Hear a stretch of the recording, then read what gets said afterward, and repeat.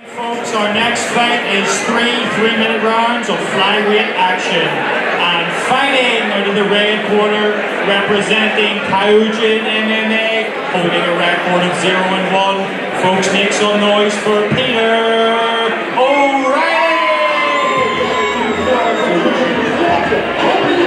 Okay, folks, and his opponent, fighting out of the blue corner, representing Fight Academy Ireland, holding a record of 1 and 2. Make some noise for Ciaran!